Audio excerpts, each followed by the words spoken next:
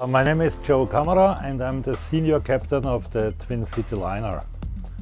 The boat is in service between the city of uh, Vienna and the capital of Austria and the city of Bratislava, the capital of Slovakia, in main season three times. Downstream from Vienna to Bratislava 75 minutes and upstream from Bratislava back to Vienna 90 minutes. Capacity indoor 221 guests and uh, when the sun is shining and the weather is fine we can also offer you 29 seats outdoor. So the complete capacity is 250 guests. We are 39.7 meters long, 11.3 meters wide. We have only a draft from 80 centimeters.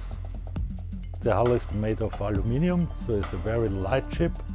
Light ship is only 72 tons. Um, and we are equipped uh, with uh, four water jets from uh, Kamewa four gearboxes, the brand is ZF, and we are very proud of our main engines made by Scania, 1100 horsepower each. We have also other boats.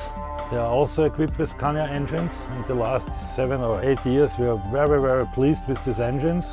Less fuel consumption, less oil consumption, and uh, with our supporter in Vienna, uh, the company, the name is EHAT. We are very, very pleased with. The delivery times for spare parts are perfect and the service from the company EHAT is also perfect. Yeah, I'm Stephanie. I'm a captain from this boat. I'm 29 years old. I'm also an engineer, the youngest female captain in Austria since in our company, Foundation 1829, I'm the first and only female captain. Yeah, the speed of the boat is very impressive. Uh, from 0 to 50 kilometers per hour, only 20 seconds. And from 75 kilometers to 0, uh, less than 90 meters. When we push the lever to go near full speeds, yeah, the noise from the turbos are really nice.